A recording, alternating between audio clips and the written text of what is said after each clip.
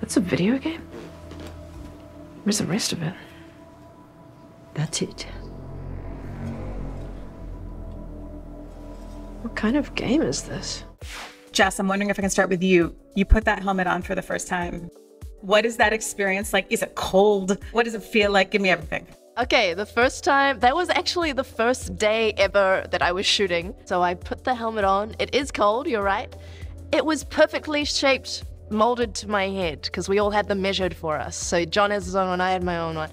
It was a bit like being in a sort of isolation tank, in so much as you can't see anything, you can't really hear anything. You know that life is going on around you, but you can't, there's no way of connecting with it. It felt a bit like being mummified, alive. I'm imagining, Zine, that you didn't have any interaction with the helmet, right? The silver helmet at all. Like it wasn't ever on set when you were on set. Not at all. Bummer. I want to have one.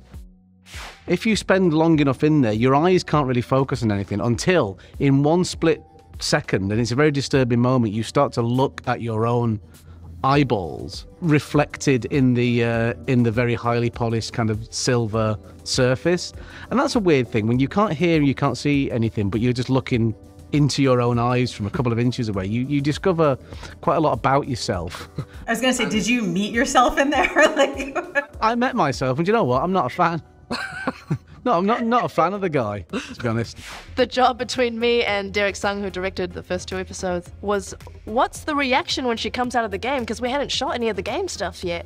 So I was like, Derek, what do you think? Is her is it bigger or smaller? He's like, I don't know, but I'll know it when I see it. So it was just us kind of drafting and trying all these different ways of like what actually is that reaction. Does she just go floppy? So it was a really fun day of collaboration. There was a scene that we were shooting uh, when we were at uh, Jack's house that I, I, I tampered with it a little bit, but I- tampered I, with I, it. I, tend to stay away from props that could Graffiti. be expensive, and so I kind of just look from afar and go, hmm, eh, that looks cool, and then kind of keep my distance, you know. I kept wondering about the prop master. They'd have to come and like rub fingerprints All the off time. anytime That's- someone. yeah, actually, yeah. all the Between every take, no lies. They take it very serious. I'm a mom, and every time I saw it, I'm like, oh, that thing's gonna pick up fingerprints like there's no tomorrow. And I almost said that just now because every time somebody touched it, I'm a mom too. Every time somebody touched it, they came in with the spray to wipe it off. that's what they were saying. I was like, man, that must have been the hardest working person on that set those days. Absolutely. That and all the chrome, you know.